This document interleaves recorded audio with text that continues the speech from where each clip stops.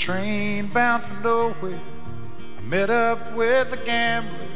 We were both too tired to sleep, so we took turns of staring out the window at the darkness till boredom overtook us. And he began to speak. He said, Son, I've made a life out of reading people's faces and knowing what the cards were by the way they held their eyes. So if you don't mind my saying, I can see you're out of aces for a taste of your whiskey. I'll give you some advice. So I handed him my bottle and he drank down my last swallow.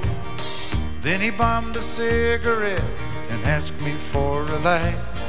And the night got deathly quiet his face lost all expression. Said, if you're gonna play the game, boy, you gotta learn to play it right.